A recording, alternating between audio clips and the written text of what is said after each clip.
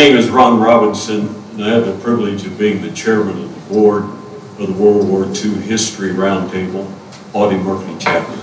I want to welcome all of you to a full house, a house that's more than full. Our theater, which is next door, has about 20 people in it or so, and they're going to be watching it on a movie screen. So Don, you filled the house, and then you filled another house, so congratulations to you. What I would like to do, we have a little special thing that's going to happen right now. And uh, I want to introduce to you Susan Lanning. She is the director of the Audie Murphy American Pop Museum. And uh, tonight you all got a little brochure with a number. And there's going to be, uh, I'm going to give her a number. I, I between 1 and 100, right? 95. Between 1 and 95. And then whoever has that is going to win Dear Bob. Bob Hope's wartime correspondence with the GIs of World War II. The lady that wrote that book was here this spring Yes. for Audie Days, right? So anyway, it has a connection to the museum.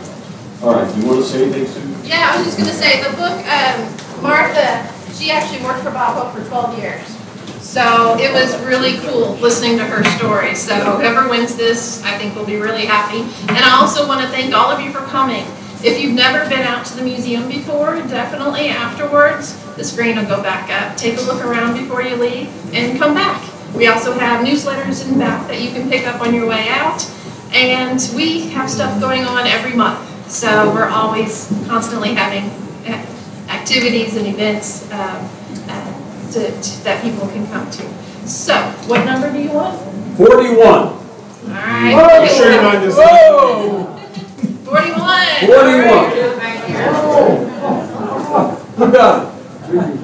I hope not, I hope you two people didn't have it. You're gonna have to get another book. I'm gonna show you number after. You sure it's not 14?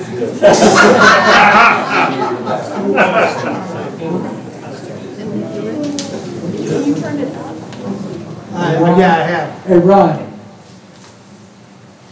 Forty-two right there. 42's right there. Right there. All right. Thank you, Susan. Um, The Roundtable was founded in an effort to memorialize the efforts and sacrifices of those men and women who served in World War II and successfully defeated the forces of tyranny.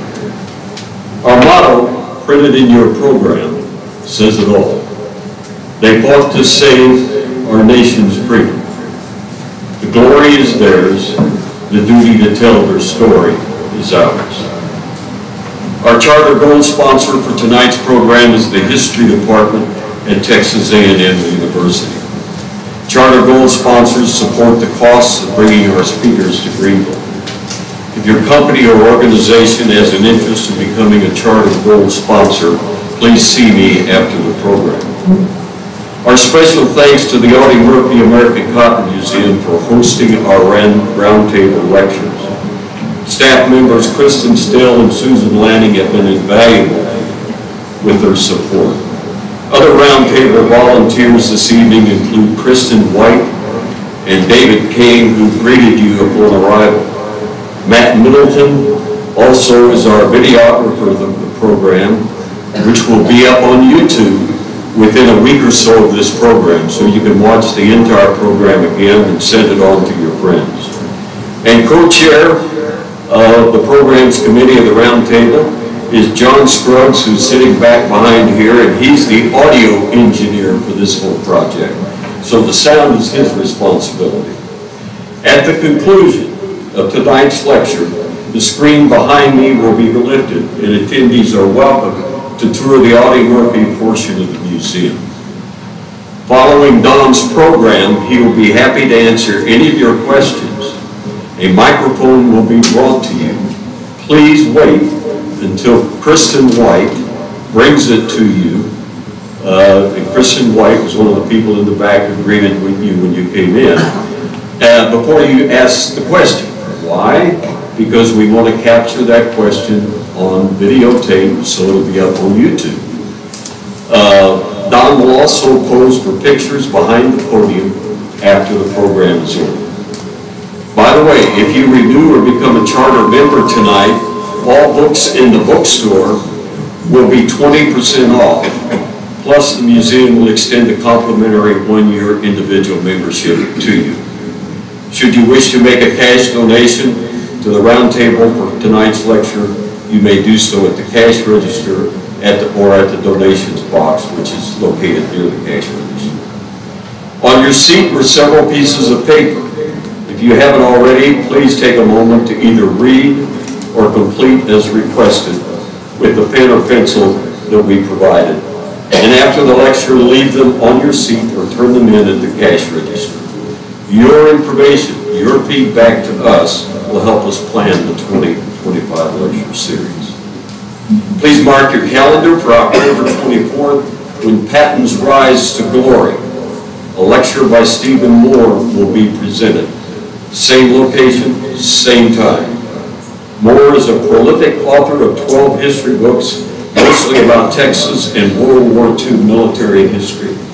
He has been a regular panelist at Fredericksburg's Nimitz Museum of the Pacific War annual symposium and is a contributing writer to the Dallas, of the Dallas Morning News.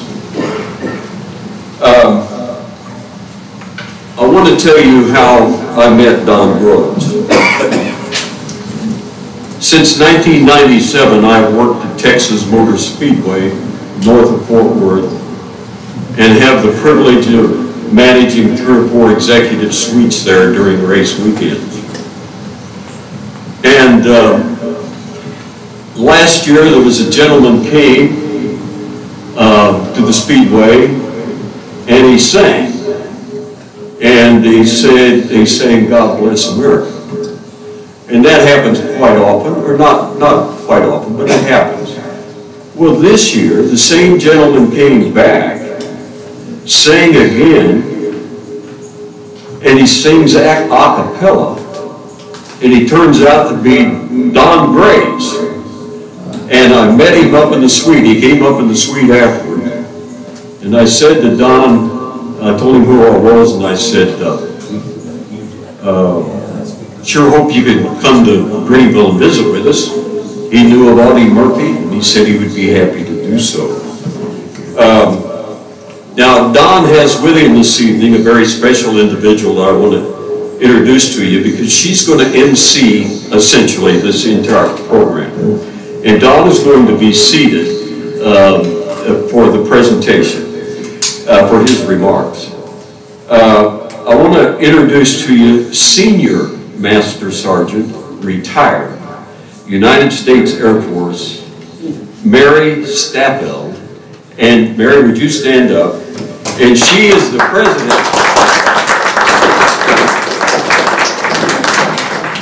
And she is the president of Roll Call Organization in Fort Worth. And she may tell you more about it. But the long and the short of it is, an organization that has a luncheon monthly, plus a whole bunch of other things they do for veterans.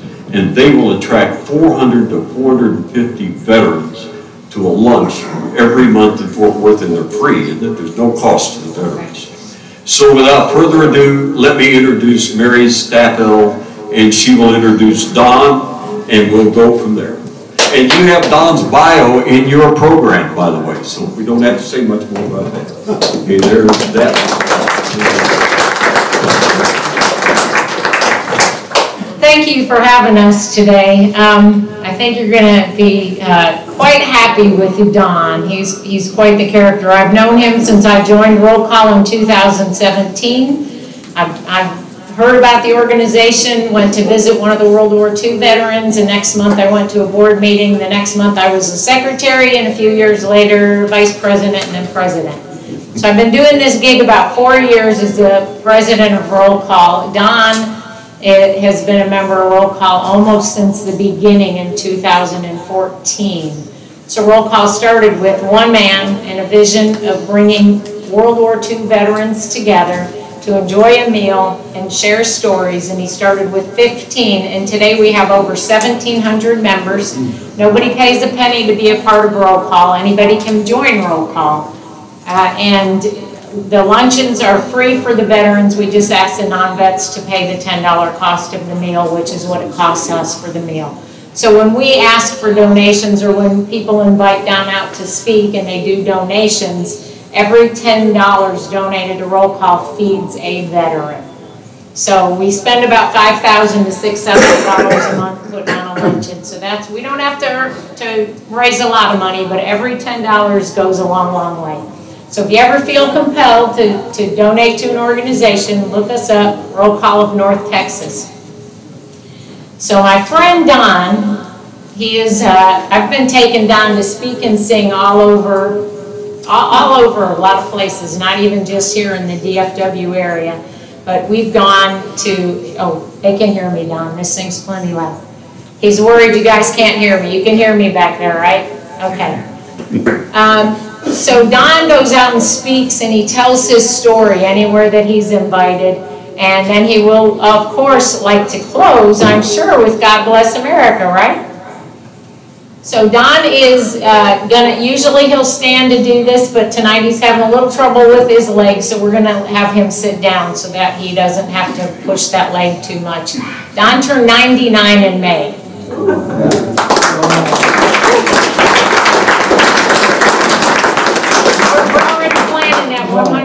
Birthday party, so it should be a big shindig. Um, And, uh, and we're looking forward to that. So Don will be singing at the Rangers game on the 4th for Military Day. He'll be singing the national anthem. Uh, He'll be singing again at the Motor Speedway. He just is everywhere singing. Rangers, you got the Rangers coming up. Cowboys, you did that once, I think. But, so Don is out at least four or five times a month speaking, singing, whatever he's invited to do. And as, as you see in his biography, Don is one of those survivors from the Battle of Iwo Jima. And he's gonna tell you this story. He is having a little trouble with his hearing aid, so I'm gonna kinda ask him, and when you ask him questions, I'll be whispering in his ear to make sure that he can hear you. Cool? And if you can't hear something, let us know and we'll fix it for you. Don, you ready to come up here and share your story?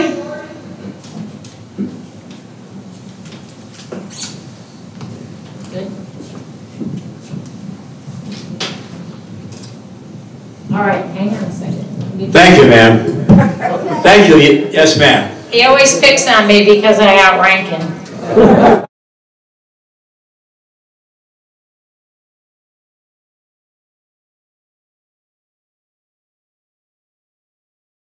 Traveled all over the place. So Don, let me find the first slide. Let's start before that slide. Can you tell everybody here, where were you when you heard about the attack on Pearl Harbor and what made you uh, join the Marines? Yeah. I was 16 years old. There were three of us in a car. It was an old Ford. We had a radio hooked up. And you know, we loved the big bands. You young people don't know what I'm talking about. But if you did, you'd want to have them back, I can tell you that. Good, popular music. No crazy stuff. No throwing one another all over the place. You held a woman in your arms. You know what I'm talking about? All right. We're sitting in the car and we're listening to music called Detroit. And we have a blanket around us, got a cap and jacket on. We're all three 16 years old. And on comes the announcer. He said, Ladies and gentlemen, we'll interrupt this broadcast. The President of the United States is going to address the nation. We said, What's this all about? Now, this is the 8th of December, the day after Pearl Harbor. And the old man came on. And this is what he said, and I will never forget it. Yesterday, December 7th, 1941, a date that will live in infamy. United States of America was suddenly and deliberately attacked upon by the naval and armed forces of the Empire of Japan. I interpret the will of Congress and of the people. We shall gain triumphant victory, so help us God. Great speech, the greatest I ever heard. The old man, FDR, when we walked off of Iwo Jima, I'll tell you about that one. They boarded Higgins. They took us out to our transport. After fighting for six, six and a half weeks, we crawled up the ladder, and a Navy boy was up there to grab us and help us in. Well, that's the story on the end. That's, that's how I happened to fall in love with the Marine Corps. My dad was a Marine, and we all remember James Cag, Jimmy Cagney, Pat O'Brien. They, were, they always played sergeants in the Marine Corps, and I always saw those movies. I want to be a Marine. You know what I told my two buddies? I said, Well, I'm skipping school tomorrow. I'm going down to the recruiting station. I'm going to join up in the Marine Corps. They said, You can't. You got to be 17. I said, I only got six months to go. Your mother's never going to sign that. I said, My dad will sign it. She'll sign it. No, she won't. Well, next morning comes up, and I told my two sisters and brother, don't say nothing about. I'm going downtown, join the Marine. I'm going to get the paper anyway. So they took off, and I ran all the way downtown, one mile. It was about 8 o'clock, and I walked up on the fourth floor and met a gunny sergeant in the doorway. He said, What can I do for you, young man? I said, I want to join up. He said, How old are you? I said, 16. He said, you, you can't do that. I can't take you. You got to be 17 years old. Now, Audie Murphy cheated. He got in early. But it was the Army that he got into, and the Marine Corps would not tolerate it. So he said, I'll tell you what I'll do. I'll give you the paper you need. You go home to your mother and father and tell them when you're 17, have them sign it, bring it down to me, and we'll, we'll, we'll do business. Do you want to do that? I said, Yes, sir. He said, Go. I ran home, ran all the way home. I was so excited, folks, I forgot I skipped school. I walked in the back door and I showed her the paper. Oh my gosh, I skipped school. She says, What are you doing home? And my mom was 11, 10 foot something. 10. Whoa, wait a minute. Oh, well, forget it. She was a little short Irish lady. And she said, What are you doing home? I told her, Go back to school right now. I said, It's too late. They won't let me in now. Okay, you're going to be doing some work around here. Take that paper and throw it away. I said, Yes, ma'am. I ran to the dining room, opened the buffet drawer up, tucked it under some papers, shut the drawer, went outside. Well, six months passed by. I'm 17. It's my birthday, May 3rd. And my dad is there. I didn't have a good father, but he was there. And I went and got the paper and I said, Dad, sign that. He said, What is it? I said, It's paperwork. I'm going to the Marine Corps. Give me a pen. He signed it. He said, Give this to your ma. I said, She won't sign it. He said, Vera, that was her name, come here. She walked over, signed this. The boy's going to the Marine Corps. She said, I'm not going to sign that paper. I went through this once before with you. I'm not going through this again. He said, Vera, listen to me. The boy walks out of school. He's been doing little odd jobs here and there. He'll probably turn out to be a bum, sign the paper. And I did this to my mother. She said, Give me the pen. She took the pen, signed the paper. I ran all the way back down. And he said, Good, now we can do business.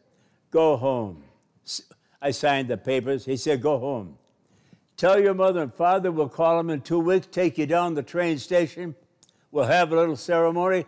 You'll head for San Diego Marine Corps Base. I said, Yes, sir. That was it. That's how I got in the Marine Corps. Right. Didn't you have to go through a physical Pardon? before? Didn't you have to go through a physical before that? Yeah, I forgot to mention that. I'd rather, I wanted to skip it actually.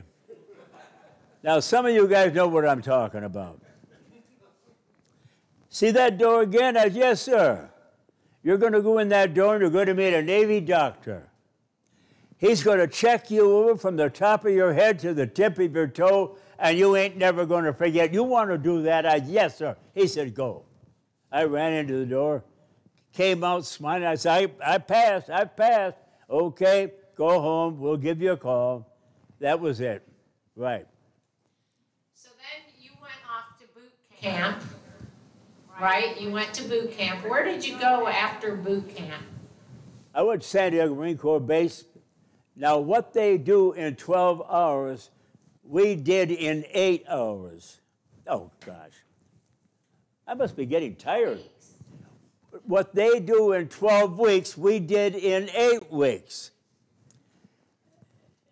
That top soldier, Marine, he took us down the first morning to the, ba- to, to the boondocks where the water is, and there's docks there, and there's a couple transports there.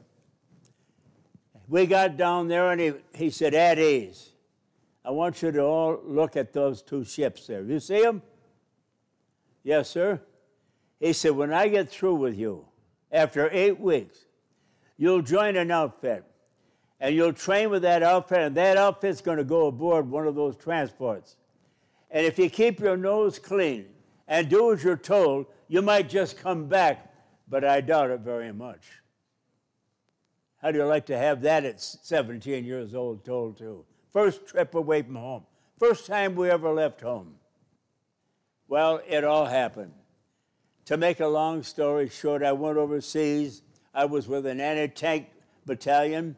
My job was driving a, a Dodge pickup truck with a 37 millimeter anti tank gun between the assistant driver and me. That's why I have hearing aids now. Bam, bam, bam. Yeah. So they broke us up. They couldn't use us because the half tracks that we had were burrowed down in the, in the mud and the water. So we joined another outfit, a brand new one. This was Roosevelt's project. Roosevelt wanted Iwo Jima in a worse way because they couldn't come back from B 29s with B 29s from Tokyo. They would go down in the drink. By taking Iwo Jima, getting it out of the way, they could come down if they had to, otherwise, go right back to Saipan. And the P 51 had just come out, and it could go there and go back. The other planes would run out of gas. They couldn't do it. That was the purpose of taking Iwo Jima. That was Roosevelt wanted. That's what he got. Did you want to say something? Wait, I don't know what I just did. So Don, you were on, uh, you were heading toward Iwo Jima. What? You were heading toward Iwo Jima, and you had a unique breakfast experience. To make a, uh, make a long story real short, we took off for Iwo Jima. First, I have to tell you, I was a flamethrower operator like Woody Williams. He was in the north, I was on the south, where Mount Suribachi was. We both did the same thing. Now, Woody stayed aboard ship for about three to four days. They didn't come in right away because he couldn't get any more Marines on the beach. We were elbow to elbow. We were crawling over one another. We couldn't put any more on the beach. That's three divisions. We had two divisions on there already. All right. So Don, but tell them before you got to the beach, when they brought the clay, they brought the clay models out, and then what did they do? Hey, Hey, Sergeant, Sergeant. give me a break, will you? she just loves to push the jar heads, I'm telling you. Yeah. Well, we're aboard ship on the way to Iwo Jima. Two weeks from Saipan.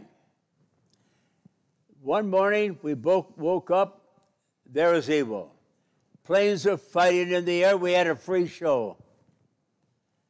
There it was. They were shelling the daylights out of it. Navy, everything. And they brought up breakfast. And guess what we had for breakfast that morning? Steak and eggs. Now, listen, I had a lot of eggs, cold storage, but I never had a steak given to me by the Marine Corps.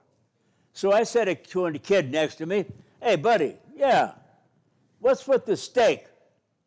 He said, Graves, use your head. What do they do with convicts before they execute them? Man your boats, your landing craft. All right. So then, you were on the landing craft and you approached the beach and tell them about the experience you had on the beach. Uh, I don't know, it took us a couple hours. We rallied around, around, around, and each battalion went in. Now, my battalion, we took Mount Suribachi on the south end by Mount Suribachi, and there's a bay in there. And that's where we went in. The 4th Division went over on Red Beach up towards that way. So we come in towards the beach, and I expected him to get us off on land. He couldn't get in the water because Marines were stacked up. Overboard. I got a 72 pound flamethrower on my little back. 72 pounds, five gallons of fuel. I have a man on my left and one on my right. They have to help me. They have to stay by me. When we shot, when I shot fire in a hole or a foxhole or a pillbox, whatever you want to call it, and they come run out on fire, they would pick them off and kill them. Well, we, we over the sides we went. I went down on the water. The boys got in with me. They picked me up. We dropped on the sand. To my right, above from here to that wall over there, was John Basilone. He was on a bond tour. His commander was Chesty Puller, who was a captain then. On Guadalcanal, he was a lieutenant. Now, John was on a bond tour. He come into his captain and he said, Skipper, he said, I can't do this anymore. He said, I want to be with my buddies. He said, John, we're making a lot of money through bond tours. He said, I, I really want to be with my buddies. And he said, John, you're a Medal of Honor. I can't say no. Go. He took off, joined our outfit, trained with us. We hit, he hit the beach with it. John was over there, and then all of a sudden, word spread. Basilone just got it from a sniper up on Mount Suribachi, 545 feet away. That's how far it was from where we were. We had to get up on top, turn left, and take that mountain out of the way because it was firing all over eight square miles. It was just playing havoc with us. Well, I lay in the sand. Now, being of the greatest generation, we had nothing. We had overalls. That's what we wore. We lived in my grandma's cottage on a lake because they had a small farm. And they couldn't care for both, so my mother said, We'll take care of the cottage. You go ahead and you have the, you use that for, for your living. It was wonderful. I spent a lot of my time on the lake fishing. I love fishing. This is in Detroit. Well, anytime we had to go to a party or something, my mother would sponge press our clothes, try and do the best she could. We had tennis shoes. Not what you guys wear. I'm talking about tennis shoes, excuse me, that stink. They're terrible. They always stink. We would not go to church. My mother said, Anytime you want to go to church, go. We wouldn't go, we were ashamed. We sort of hung around together, not with a lot of kids. Not too many kids had money. Detroit went through the, the Great Depression. We got knocked down. So that was the conditions. I, I never went to church. I lay on that beach, and the only thing I could think of was pray. Never prayed seriously in my life. I said, God, I don't know you, but if you can do for me what people say you can do, and you get me off this island, I'll serve you the rest of my life. He got me off the, got me off the island. Six weeks later, the battle was over. I went to occupation Japan three months. Got back, let out, went home, and just did what I wanted to do. Okay, Don, before you tell them about after, let's talk a little more about the island. Who? Let's talk a little more about what happened on the island, And, I'm sorry. on Iwo Jima. Huh? So when you got, after you got off the beach, how long did it take you to get from the beach to the top of Mount All Suribachi? right. Let's go back to the beach.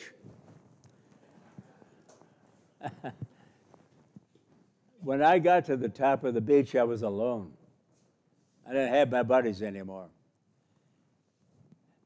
Do you know what the lifespan was of a flamethrower on Iwo Jima? Take a guess. How much, what would you say? How long? In between? Five seconds. Yeah, like maybe an hour. How much?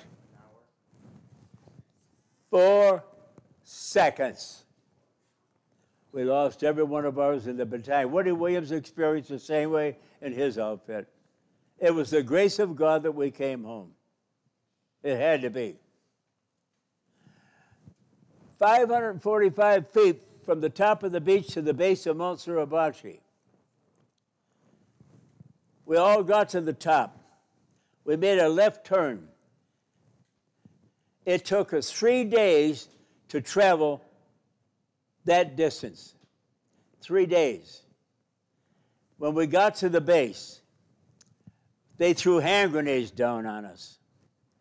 Just, just let them roll, let them lob. We couldn't throw them back up. We had heavy casualties. Finally, we got it settled down a little bit, and we started going up, up the side of the mountain. When we got to the crest, I looked over and I was stunned. They're raising a flag. And I wondered, what in the world? We didn't know anything about a flag. That was never in the job. Where, would they get the pole? Where'd they get, where'd they get everything? Well, here's how it happened. Lieutenant Schrier, that's in that picture you saw, Lieutenant Schrier was my battalion commander. Uh, He was his executive, though he called him. He said, Harold, see if you can get to the top up there. Take some boys with you. Take this flag. And he took it out of his chest. I got it from the ship skipper. He wondered if I put it up for him. And that was the small flag. And Harold said, Aye, sir. He grabbed about six, seven fellows. They wandered around the left side. Now, it wasn't too bad that side because the ocean's there. And they finally got up on top. While we're fighting here, they have a skirmish and kill about six, seven Japanese, and they work on it. Now, here's what you don't know. When you look at the raising of the flag, that pole is drain pipe. They had drain pipe up there. The Japanese would capture and get all the water they could from the rain. They couldn't make their water. We made our water. Our boys made it down the beach. We were never short of water. Here's something else.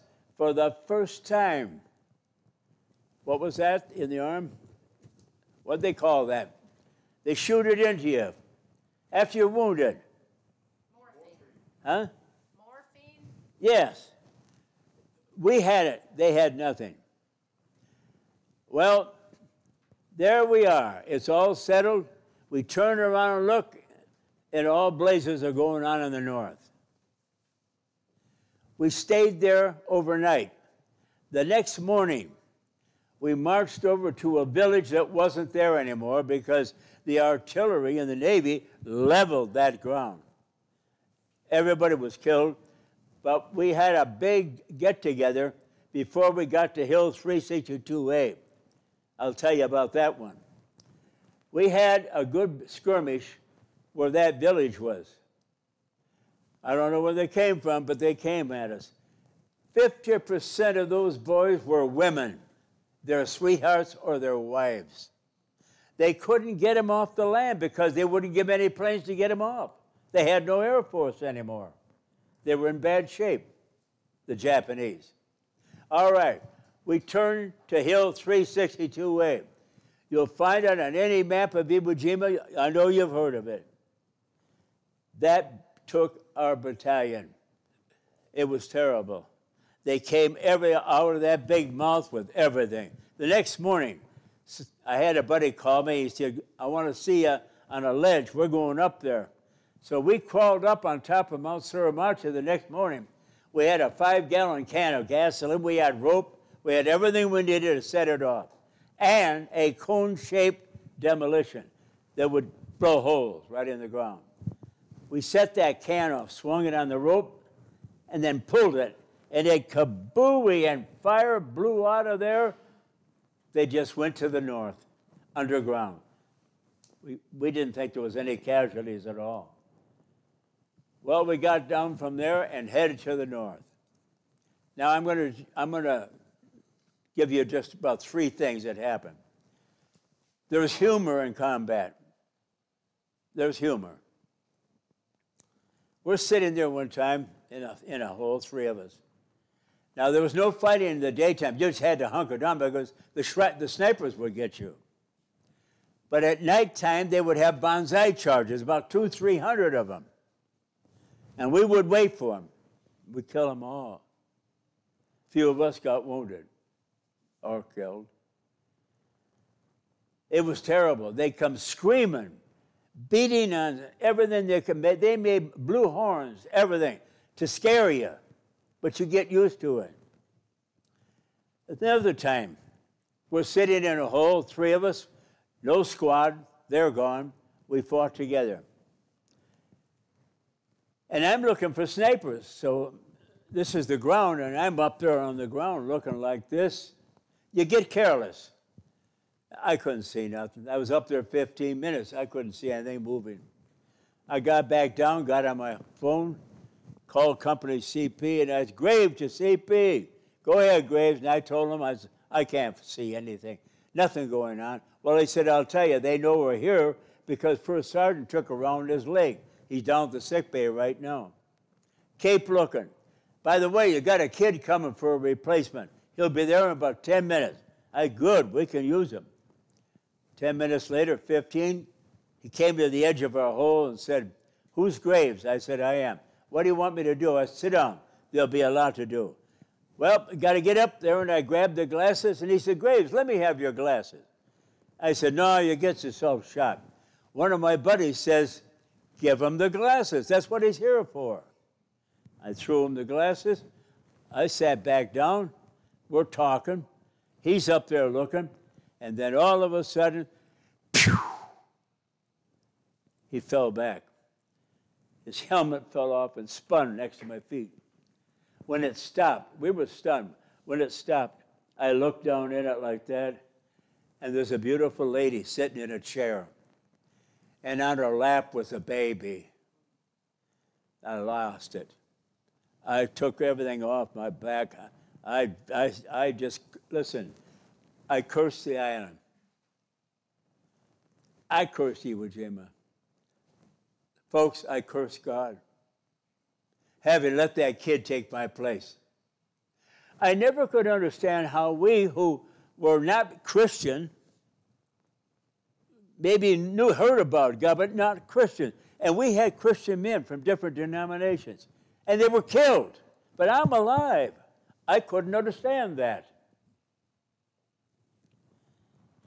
I never could understand it, and I forgot my pledge on the beach. Now I'm going to go through this.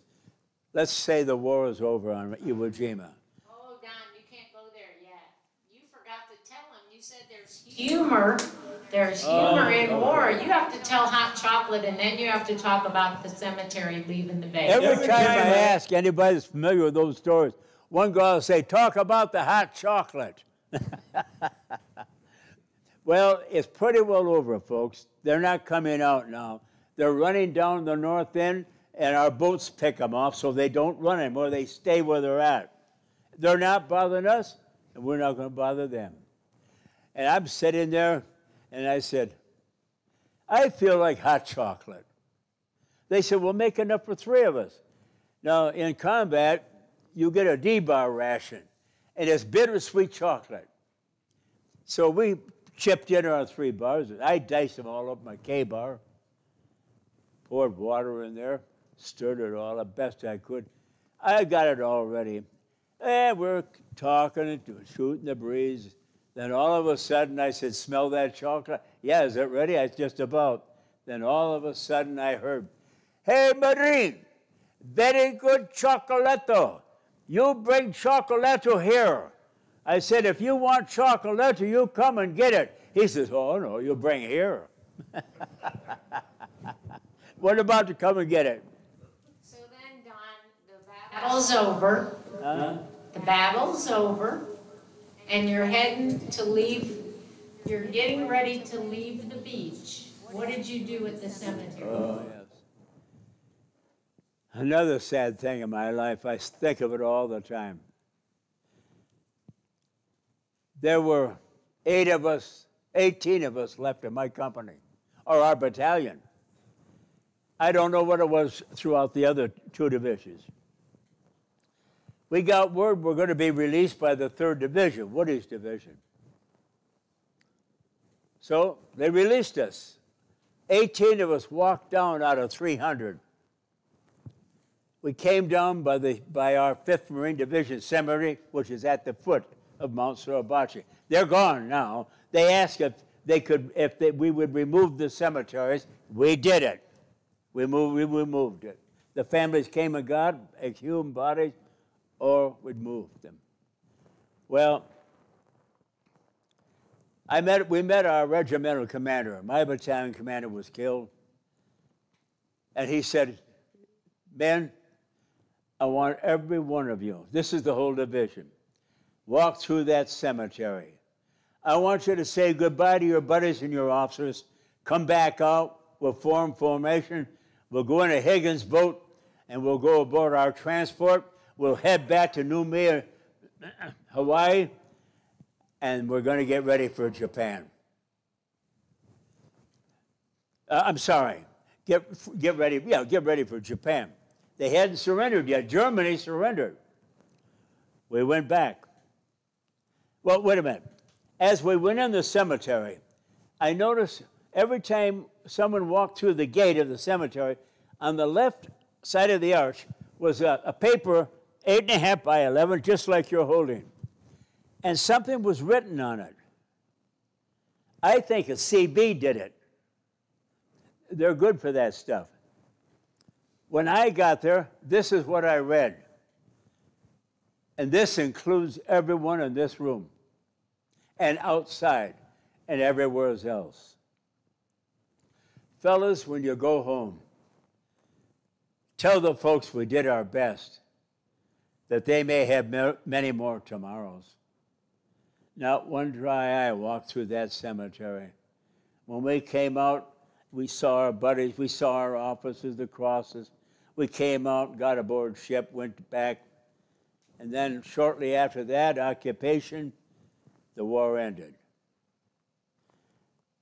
Iwo Jima was considered the worst battle in the Pacific. Some of them say it's the worst battle in the history of the Marine Corps. I think there's one other battle that you folks are familiar with that is compared to it. It's already been recorded. I'll help you all. The battle was in Philadelphia. What? What? Gettysburg. Gettysburg. Gettysburg was as bloody a battle as Iwo Jima. Terrible. So Don, After the war, you went home. What did you do?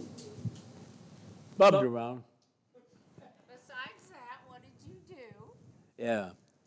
I went to work in the plants, auto industry. Hated to be cooped up.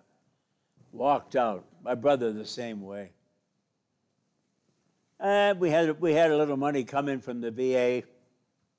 We used that up.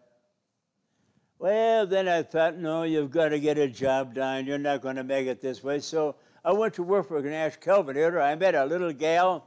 We got married. We were married for about, oh, close to a year. This is interesting. I'll never forget it. We're in an apartment and we're not getting along. We were talking about splitting up. I was losing some of my best friends. I was a singer. I met a lot of people, and I was losing some. I went up on a fishing trip north, northern Wisconsin. We're in Wisconsin now. We lived there 32 years, and after we raised four children. Well, I didn't catch any fish, but the bottle bass were biting. You know what I'm saying? I came home, threw myself on the couch. My wife is doing her chores, housework. Phone rang. My wife answered it. She said, I'll go get him. She said, Don, Mr. Bieler wants to talk to you. Now, there was a gentleman from Denmark, Copenhagen, a wonderful old Dane, godly man. We, he was our landlord once. He would do anything for us. I respected him. I said, Mr. Bieler. He said, Don, I want to talk to you, and I don't want you to say one word. I said, Yes, sir. You are a mess. I don't deny that. You're losing your best friends. You're going to lose your wife. And you're going to lose yourself. And you can't do anything about it. Not the way you are. Would you take my wife and I to a Billy Graham program by way of, screen, uh, by way of a moving screen at Oshkosh, which is 16 miles up the lake? You know what I said? I'll change clothes and be right over. Someone is beginning to do something. We walked in that auditorium. Someone said it was 2,700 people. And they knew me because of my singing. I was a mess. My wife and I walked with this couple. We sat down in the front row, my wife next to me. The movie came on Billy, and this is what he said You were not your own, you bought by the price. And that price was Jesus Christ on Calvary. What are you going to do with Christ in your life? You need God. You need Him tonight. And you you come. You need Him tonight. You come. Your life will be changed. You know you've been a fraud. You know you've been against God Almighty. It's time you come. I swore, folks, He knew about me and he was talking to me. That's what I thought. They started singing an invitation song. Billy was over with. And I listened to that song. Then something hit me. You hypocrite. You liar. You use God. You use God for your own gain. And he, he kept his word. He got you out of battle. You went through it. You came out alive. Look at what you've been doing. I dropped on the floor and I cried like a baby. I was a mess. I got up on my feet and the speaker said, Now we've sang this song once. We're going to do it twice. We'll be through. We'll send you home. But if you have a desire to meet the Lord Jesus Christ, we'll help you. Come up. We'll give you a Bible, send you home. I said, if they do, I'll go up. They started singing, and I stood up. I didn't know if the rest, I didn't know what my wife was doing. And a voice said to me, I don't believe in any hocus pocus stuff. This voice was real. It said to me, Sit down, you fool. What about your wife? And I said, I don't think this is going to work. I turned around and looked at my wife. She looked at me and she got up, walked over, took my hand, and said, Let's both go up. We both walked up to the preachers, gave us a Bible, prayed for us. I felt like a new creature. I fell in love with God. I knew that the, I was relieved that He didn't hold that against me anymore. We went home, dropped the couple off. We sat in a love chair. It isn't a love chair, it's a, it's a big brown leather chair that was a wedding gift. We never sat together on that chair. And we automatically sat in that chair. And I said, You know, I, we've got an old Bible somewhere. And I looked down at the table, and here it was, an old Bible. I picked it up, I put it on my lap, and I flipped it open, and I said, I don't know anything about it, but I'm going to put my finger on something. And I went like that. And she said, What does it say? And I said, Listen, the Lord is good, a strong in the day of trouble, and he knoweth them that trust in him. Nahum 1 7. God trained me for seven years. He drilled me in Scripture.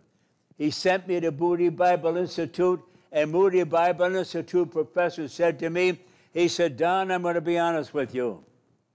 I believe you're sincere in what you've experienced. You need theology, and we've got the material for you. Are you willing to study that? Are you willing to complete it? And we'll give you a certificate and a license. I said, Yes, sir. He said, Go to the library, tell them what you want. I did. I took it home. They didn't want me in the classroom because they thought I caused trouble. me cause trouble? That's not possible. Well, I went home. Two, three of us, two boys took me. I studied and I studied and I worked for you for Christ. And then I was getting my upper 40s then. And the, and the boss said, Don, do you ever consider going speaking in churches? I said, I like this. He says, listen, the kids are beginning to call you dad for crying out loud. He said, you, You're working with youth. I said, Golly, is, it, am I that old? Yeah, he said, You're that old. I said, Okay, I'll go. I went home and I began to speak part time in churches. It got so busy that God allowed someone to send me an invitation letter to come to a church. This is all in Wisconsin. And I went to a country church that had an average of 250 people is down to 35. They lost their young people. The preacher there tore the place apart. I never had a, ch- I've never did that in my life. And I, they said, go home, think about it, and give us a call. I went home. She said, what did you say? How, how did you do? I said, honey, I can't, I don't think I can handle it. Don, you can handle that. You love that. Do it. So I called them up and said, I'm interested in visiting again. They had me come again. They had me preach. Everything seemed to go good. And they wanted to know if I would especially work getting young people back in the church. I got almost all the kids back in. We increased from 35 to 275 people in the church. We were known as the singing church. And the grace of God did it, not me but he allowed me to be the steward, the servant. And I had five churches. And I love the Lord. And I'll never forget him. And I'll die if it takes. He did something for me I will never forget. He can do the same for anyone here that's without Christ today. I'm telling you, it works. It never fails. Well, what do you say? So, Don, before we go to question and answer, before we do question and answer, would you sing God Bless America for the crowd? You know, the, first, time, I ever sang it, I forgot this. Thank, Thank you. you. The, The first, first time, time- I ever heard God Bless America was over a Jeep radio. Kate Smith. Remember Kate Smith? The big lady. She made that song famous. She had that song printed. And he, she put the title, God Bless America. I heard her on her radio program give the grand opening of that song. People went crazy. The, the, uh, the, the stores were selling copies of it like crazy. I learned it. I love it. I sing it all the time. How many of you know God Bless America? There you are. Some of you old timers. well, guess what? You're going to sing it tonight. I'm going to stand, and if you want to stand, that's fine. You don't have to, but it is, it is our second patriotic song. Incidentally, I'm ticked off when I saw that bonfire of our flag today. I'm ticked off. I'm going to talk to Trump about that. All right, now, you're going to sing. Here we go. God bless America, land that I love. Stand beside her and guide her through the night with the light from above, from the mountain to the prairie, to the ocean, wide we. God bless America, my home, sweet home. God bless America, my home, sweet home. Okay. Thank you. They're, they're gonna do question and answer. Huh? They're gonna do Oh, all right. And answer. Listen, should we down. answer questions?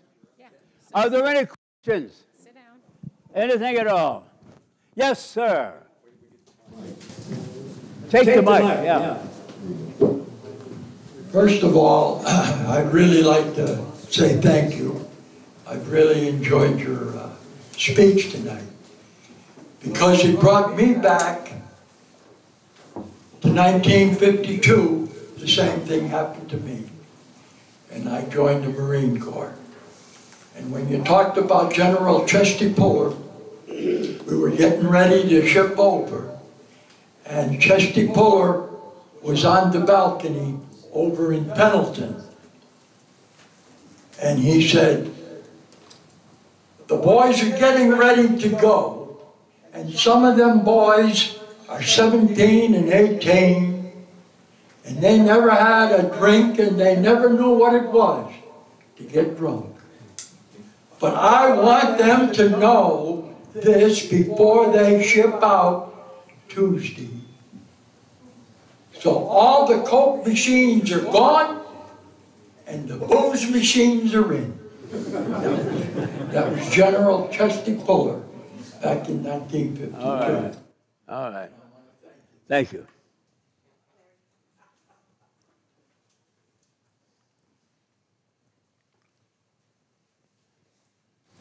My wife and I just, uh, I live in the Tulsa, Oklahoma area.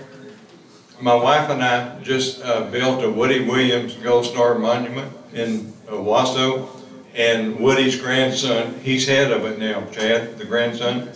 And we had a dedication Memorial Day. We had about 300 people come out.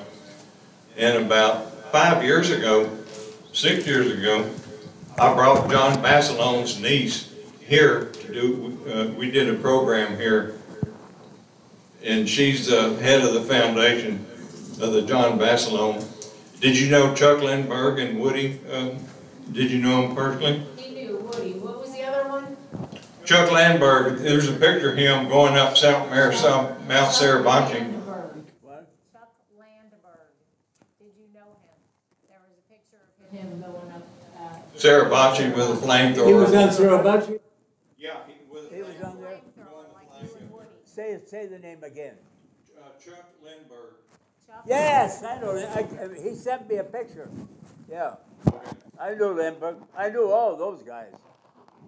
Ira any Hayes chance, was my buddy. Any chance of getting y'all to come to Oklahoma yeah. Uh, yeah.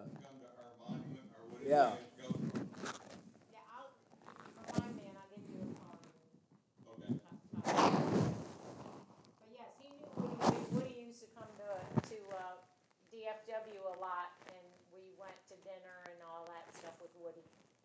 I've met him three times, and uh, yeah, and Brent and Chad are Awesome, as grandsons. they're amazing. Yeah, and I've been to Iwo Jima in 2010 with 35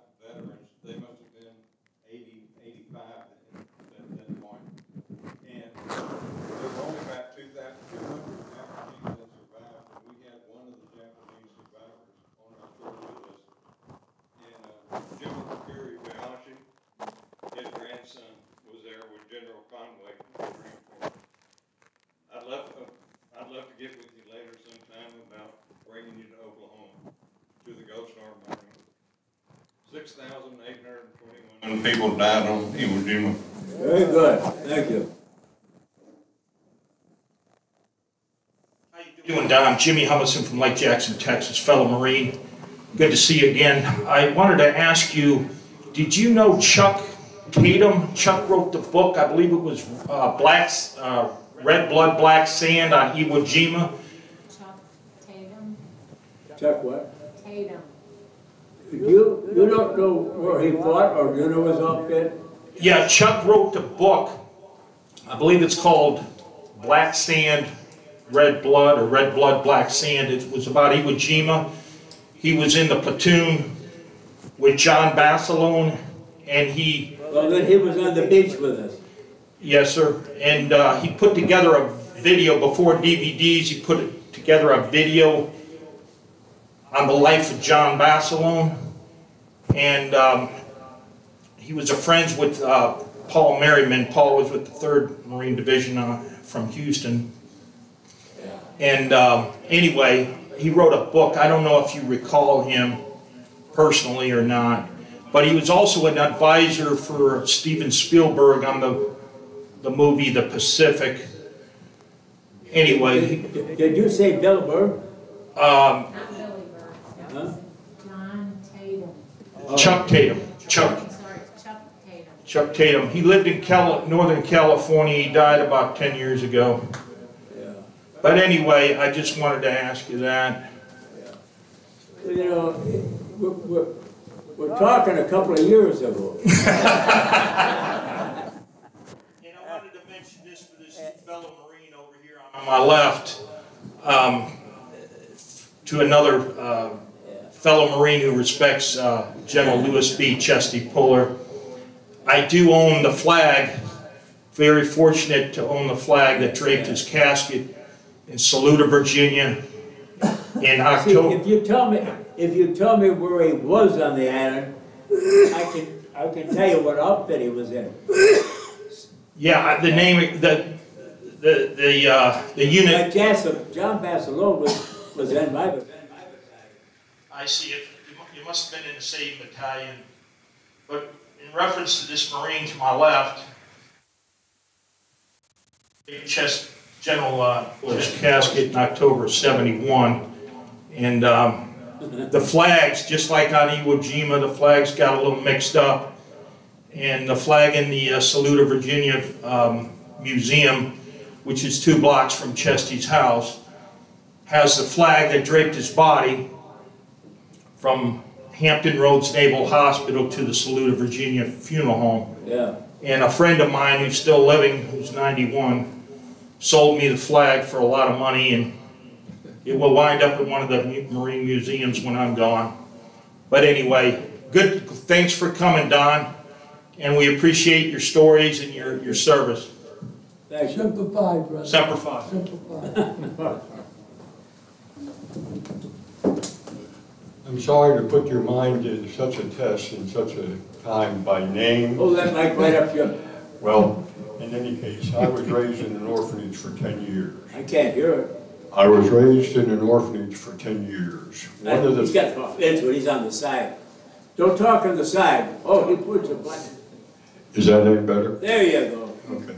Well, I was raised in an orphanage for 10 years. The man in charge of that orphanage was a Marine, an officer on Iwo Jima, and he was in command of a flamethrower outfit.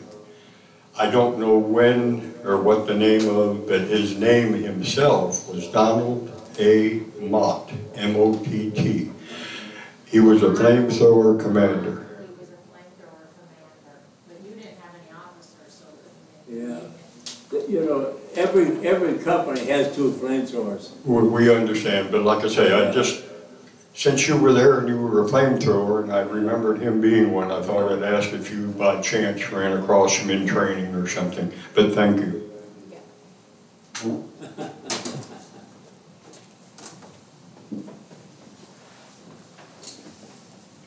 Semper Fi. Simplify, that beard's not regulation. I'm undercover.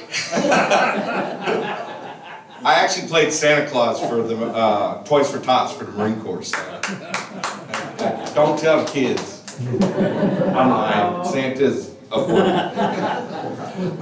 I, I actually have a question. How do you feel, and this can go out to pretty much all the old timers, how do you feel when you hear Japan trying to change the names and do away with some of the things from World War II, such as Iwo Jima. You know, they changed that name to Iwoto.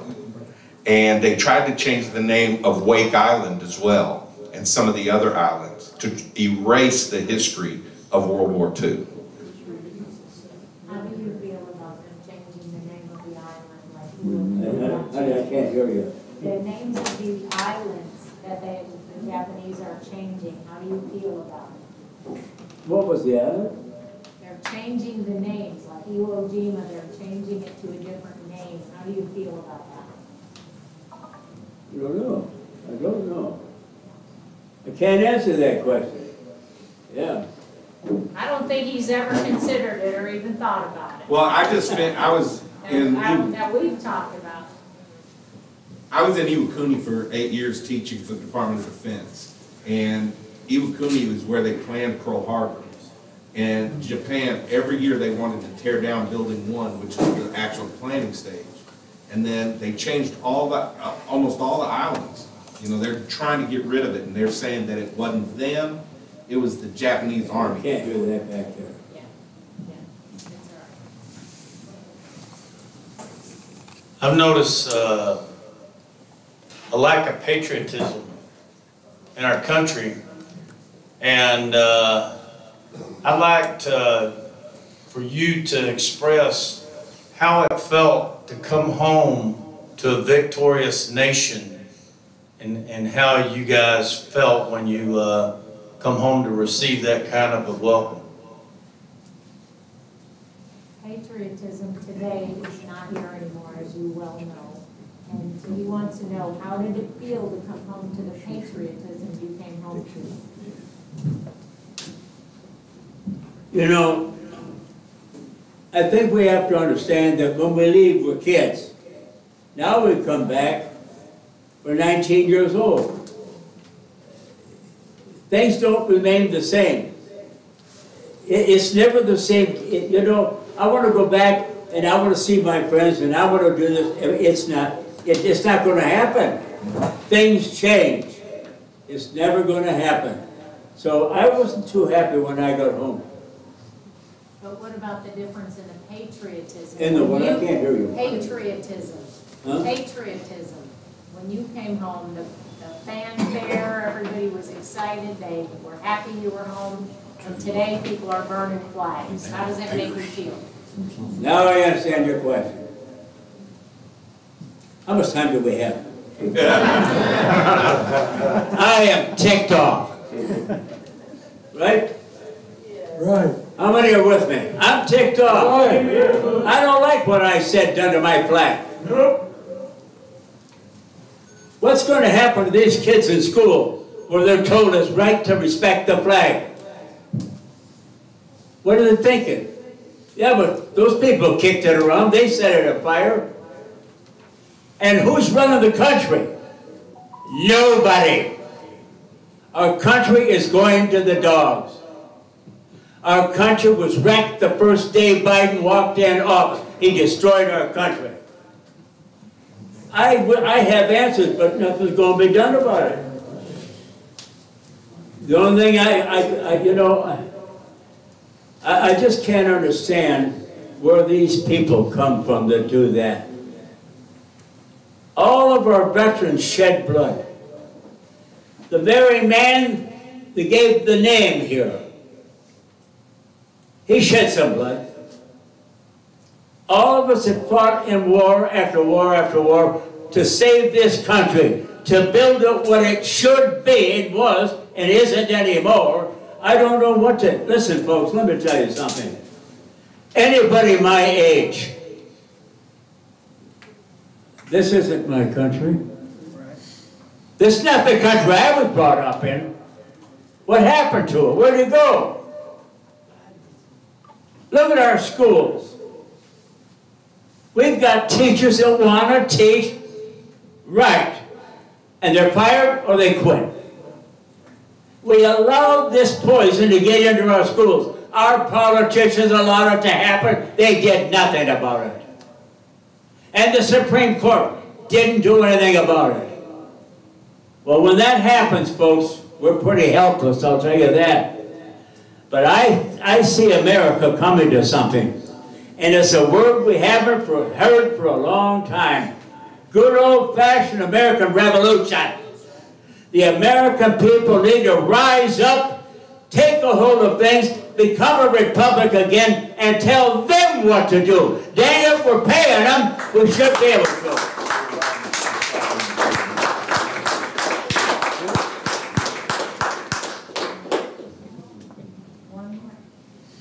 I hope I didn't speak out of order. You're oh. ninety-nine. Preach it, brother, preach it. Huh? All right. One more we got. Well, my name is Wendell Wallace. I'm ex-Army and Navy, Vietnam, born here in Greenville. I have a question for you. How many times have you been back to Iwo Jima since you left the first time? Have you ever been back? Been back to Jima? I went back once, eight years after. I was totally disappointed. But one funny thing happened. The, the island is covered with shrubbery and weeds and green. You can't see where we fought or anything. But if you go up Mount Suribachi, and incidentally, we drove up this time. and I'm sitting like this, going up. we got up there on the very top of South and there's a con, how many been there? Well, you know what I'm talking about. There's a concrete slab, two flagpoles are there.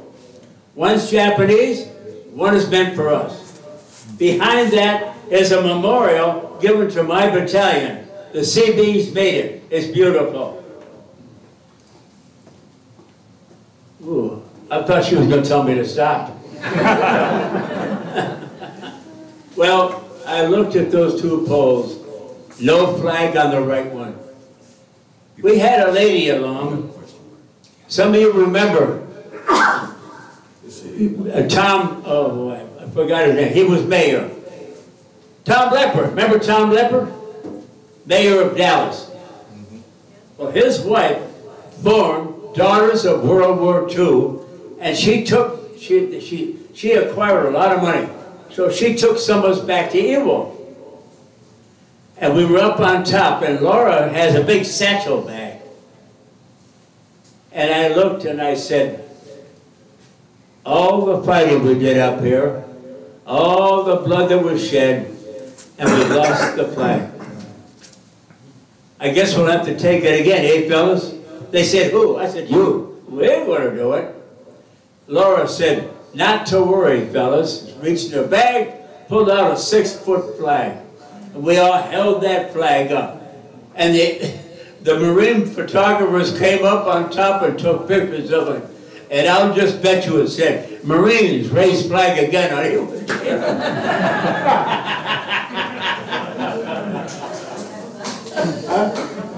No more questions. All right. You've been a good group. Thanks for having us.